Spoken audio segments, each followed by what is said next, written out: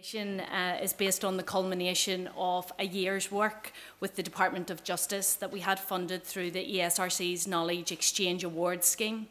Now, what that meant was over the course of the year, we considered a range of issues linked to the Northern Ireland Executive's plan to remove all peace walls by 2023, as indicated in the T-Buck strategy.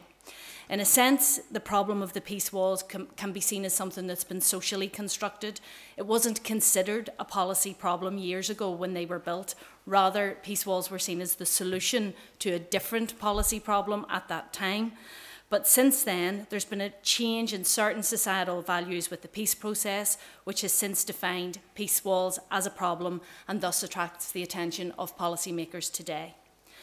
So we started with a statistic that was perhaps uncomfortable for those involved with the implementation of this policy priority.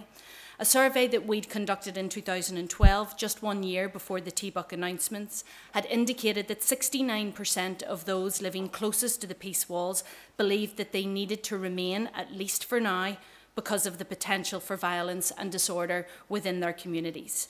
Now, this statistic sat very uneasily with the executive's view that the removal of peace walls may, at least in a very normative sense, be seen as the ultimate act of reconciliation between two communities that had traditionally prioritised separation over sharing. From our perspective, though, the current framing of the policy through TBUC lagged far behind this sentiment and has been unable to convincingly answer the question of exactly why the peace walls should come down, particularly when that question is asked by those who live closest to the walls and who would prefer them to remain. So for us, this seemed to be the first problem that our policymakers faced, the problem of articulating a clearer rationale for why the walls needed to come down. But moving from the why question to the, uh, the much more fundamental question of what, we asked, what was this policy actually trying to do? Now, it seemed very simple. When the policy, what the policy set out to do was remove all peace walls by 2023. But an interrogation of this very simple phrase revealed real problems for us. What did removal mean? Was a modification to a site or a structure the same thing as removal? What did all mean? How many is all? Do you have a list with all of the structures on it? And what exactly do you include when you use the term peace walls? Now, TBUC used the terminology of peace walls, interface barriers, and other structures of division very interchangeably. And for us, this was the second problem that policymakers faced the problem of a lack of clarity in the phrase the removal of all peace walls. So we spent some time thinking about this phrase as one of the most central tenets of the policy design, and it's clear that there needs to be, at least in government terms, an agreed definition of what a peace wall actually is. Is it anything that physically or otherwise has the effect of territorially dividing distinct communities? This is really important because the answer helps to calculate the total number of peace walls that the TBUC strategy seeks to target. And so this is the third problem that policymakers face in the absence of any agreed definition of peace walls, which will, by extension, allow the policy objective to have a numeric value placed upon it, it's very likely that those who are tasked with policy implementation will, by necessity, have to work to their own interpretation of how many walls and barriers there are at present, and as such, this approach might not align with the original intentions that underpinned the TBUC strategy. So leaving that problem to one side, we thought about how many walls do people think that there actually are. Clearly, the truer answer to this question will depend on that agreed definition that we don't yet have. But some different stats are already out there. So the Belfast Interface Project's very important work uh, back in 2011-12 documented 99. David Cameron, in his address to this assembly a year later, mentioned the figure of 48. The Department of Justice, we know, have responsibility for 58. So this is the fourth problem that policymakers face, particularly those policymakers located within the Department of Justice. Are they responsible for the removal of all peace walls or only those that were erected by the statutory bodies? If it's the former and not the latter, how do they propose to deal with those structures that are owned by current landlords, private landlords, of which there are seven, and those whose ownership is not even known, of which there are four? So a review of how many walls there are actually necessitates a conversation about the current function of them. The Westlink is an example of this. It's, it's one structure that actually is listed as a peace wall or an interface or a physical barrier of um, segregation and separation. And that may have been part of the original intention of it, but it's also a perimeter now to an eight lane motorway. So a conversation has to take place around the current function of some of these structures. If its primary function is not safety and security related any longer, should its responsibility for its removal lie with the Department of Justice? So this might require some rethinking of what constitutes a peace wall and then by extension who should be responsible for it. And for us this was the final problem at the policy design phase. Now you don't give problems without giving solutions so our suggestions for the TBUC programme board um, that are constantly reviewing policy progress is, is, is this. It's clear that the TBUC strategy, as it relates to the issue of peace walls, needs some policy redesign though not necessarily any dramatic overhaul at this point. And this is because the roots of any policy success or failure can often be traced back to the design phase. We would suggest that the TBUC programme board needs to rethink the language to give greater linguistic precision to the terminology used. What does the term removal of all peace walls really mean? We think that there needs to be a, a rethinking of the scale there may be a need for an agreed list of peace walls or structures which all of the stakeholders recognise. We can't have David Cameron quoting different stats from some of the statutory agencies. And we think that the TBUC programme board also need to rethink the issues of ownership. If the Department of Justice don't even own all of the structures, should they? If not, how can they lead others to deliver on this policy objective? Our view would be that successful policy implementation can only occur when policymakers have been clear about the nature of the problem.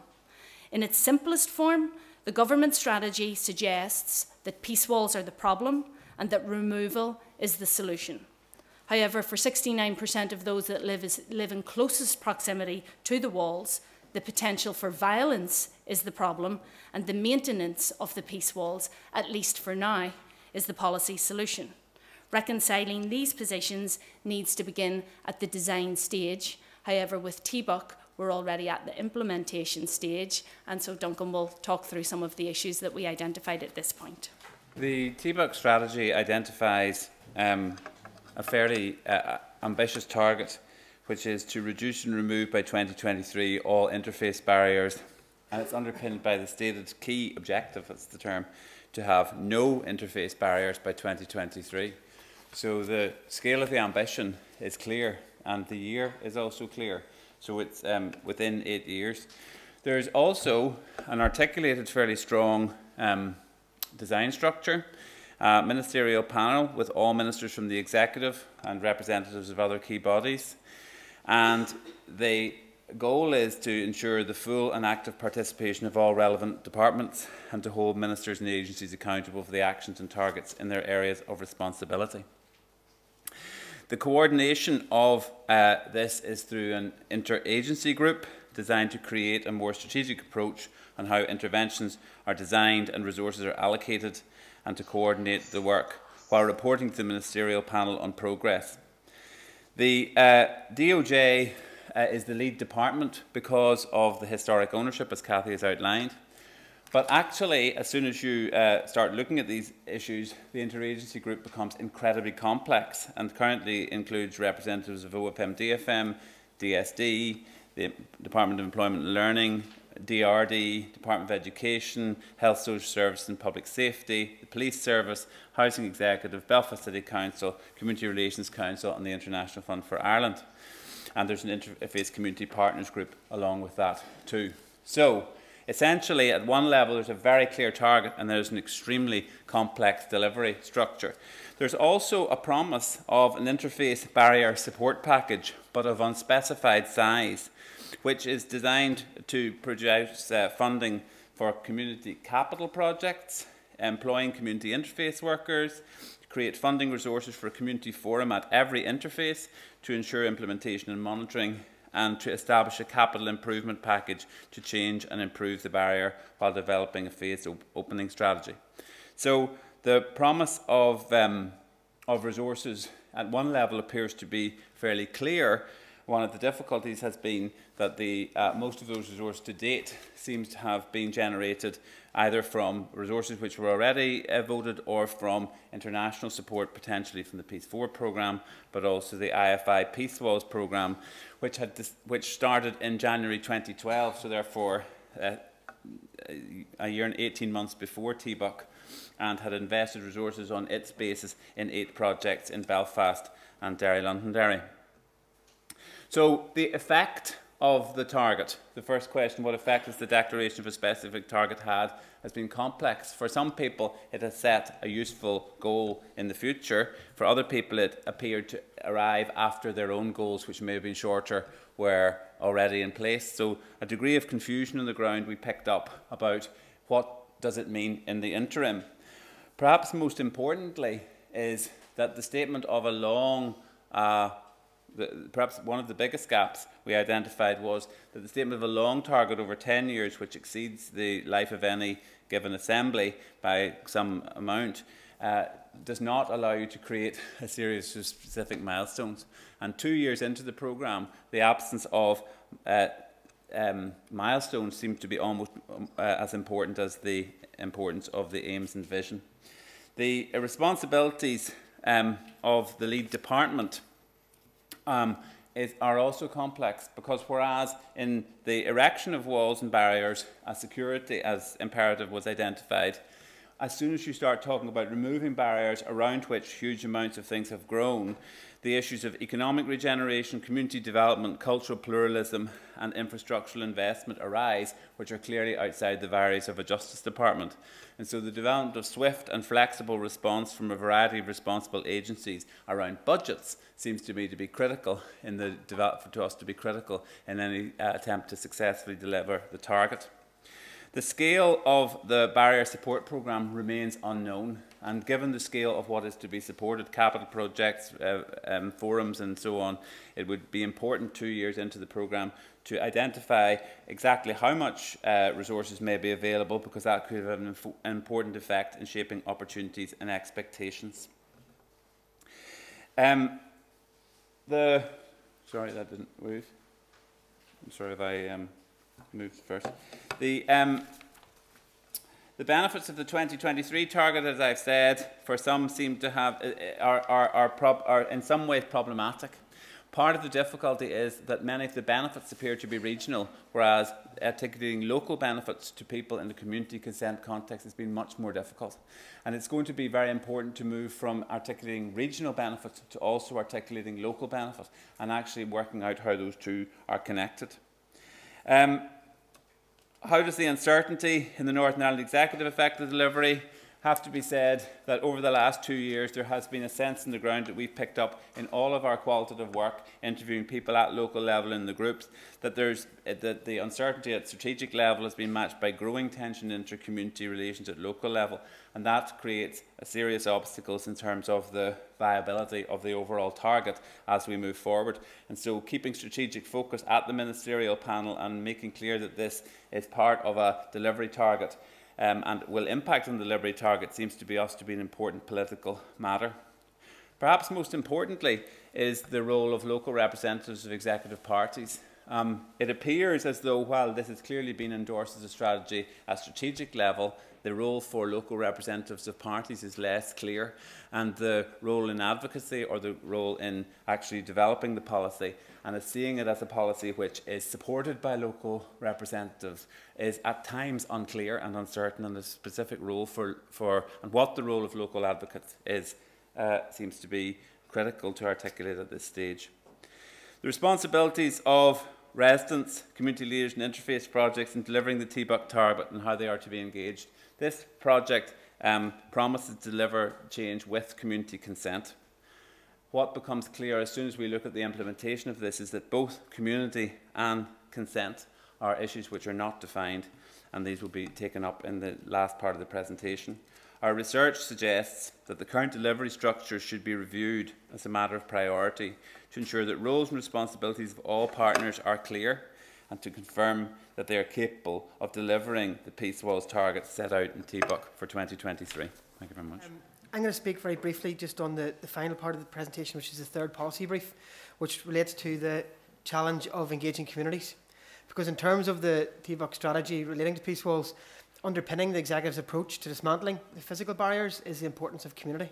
And this extract from the TBUC strategy here um, underpins that and sort of highlights the, the context of community, where it talks about taking down barriers is not something can be achieved without the consent and support of people who live there, acknowledging the sensitivities of it, the perceptions of residents, uh, and about creating the conditions with which division and segregation can become resigned to the past. So it's very clear that the executive highlights this. So in terms of the next few minutes, I'm just going to talk about this extract in the context of community confidence, in terms of community consent and community consultation, and uh, put forward some evidence-based observations that the research team have made in relation to this. Since it was launched and the focus shifted to peace walls, the language and the rhetoric from the executive, from politicians, recognises the importance of community confidence in any decision-making process. But there's a failure to articulate how this should be expressed or achieved. Essentially, there's an absence of understanding around what constitutes community confidence, and more importantly, how do you know when it has been reached? We have no benchmark. Confidence is not stationary, it fluctuates on a daily and weekly and annual basis. It's not generic and it's not consistent. And one thing we've realised very quickly is that across Belfast, for example, there are different nuances and contexts that exist within communities that have peace walls. There are some more advanced than others in terms of having the conversation around physical structures. But yet, this is very generic in terms of the language around confidence.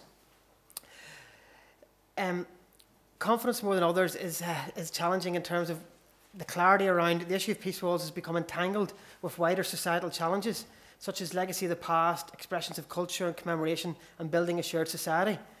So, essentially, what we're articulating is that macro political issues have an effect at a grassroots level in terms of peace walls.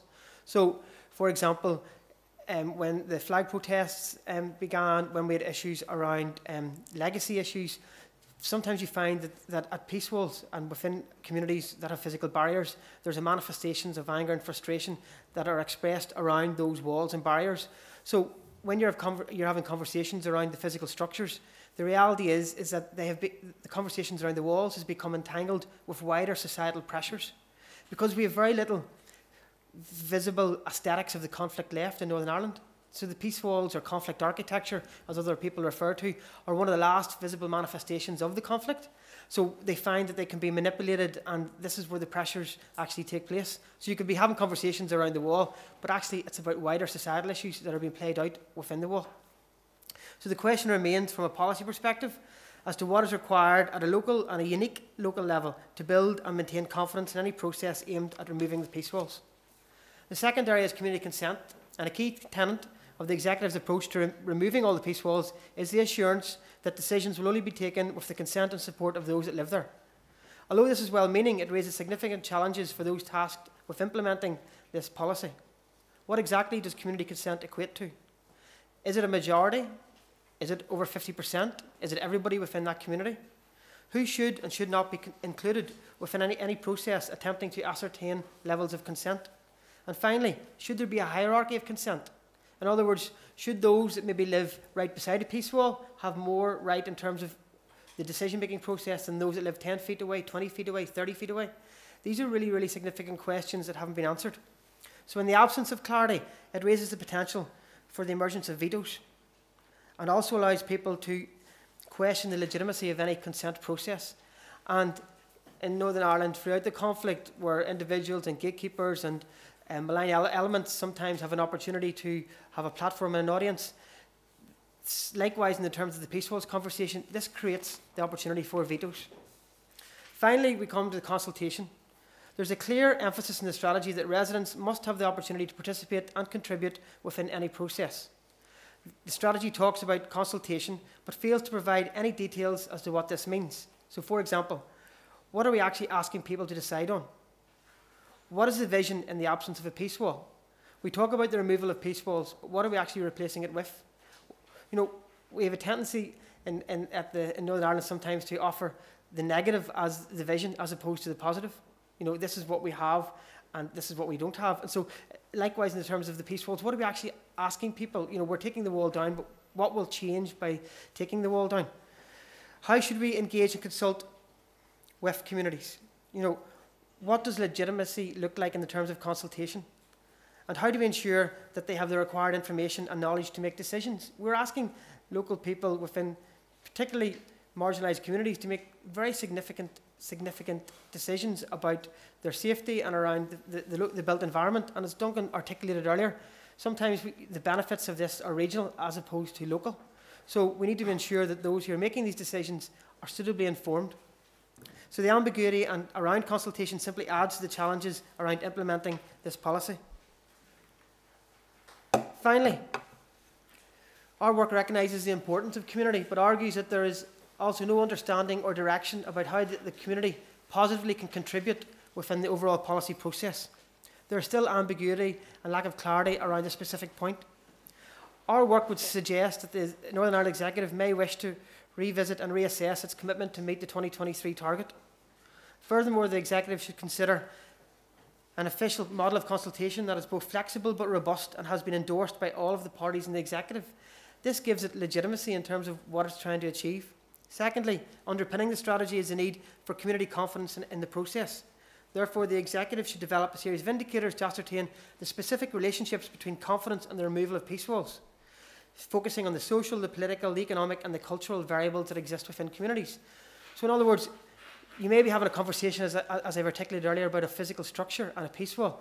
But macro political issues, whether it's about the executive, whether it's about flags, whether it's about parades, whether it's about legacy, may actually have a direct influence on how you view the future of that peace wall. So we need to look at that in terms of what does that mean in confidence building measures. And finally, we need a clear and definitive answer as to what community consent means.